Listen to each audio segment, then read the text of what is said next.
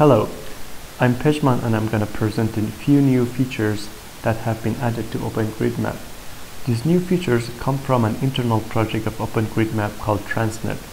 Transnet is an approach to automate generation of power grids simulation models from crowdsourced data. This approach consists of ordering the power-related crowdsourced data to power circuit relations. These relations are then used to model high voltage power grids as you can see on the screen. We can export these power grids in a format such as XML and CSV, which later can be used by applications such as QGIS. We can also export the power grids as CIM models and with the help of our MATLAB script we can transform them to Simulink models used for load flow calculations and so on. Now I'll show you how all this can be done. After navigating to our homepage, first you have to add a transnet layer to the map. Now if you zoom out, you will see some of the power grids in the area. When you click in one of the relations, you will see some information about the relation, like the voltages, and also some information about the stations and the power lines involved in the relation.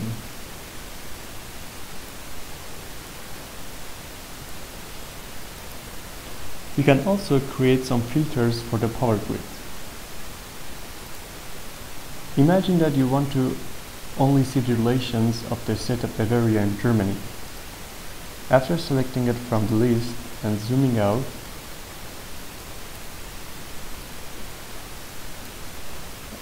and waiting a bit till all loads,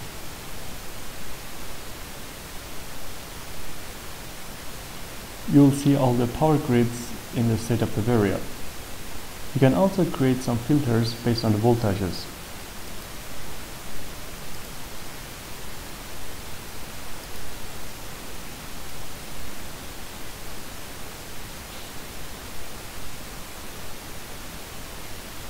Now you see all the power grids satisfying those filters.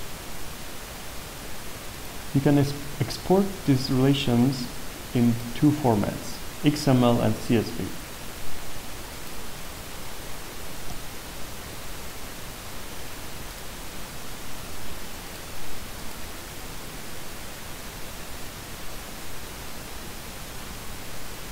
Now you see XML export of relations which can be imported to QGIS for further calculations.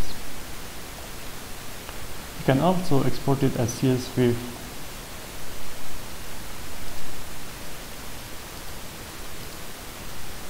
and it gives you two CSV files, one CSV lines which contains the power lines observations and two CSV nodes which contains the power stations of the power grids and relations.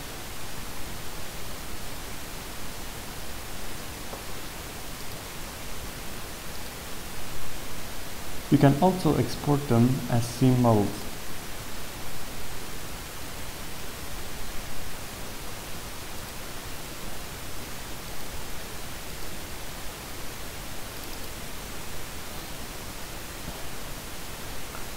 You can use the CIM model to generate Simulink models with the use of our MATLAB script. To do so, first you need to download the MATLAB script from our website.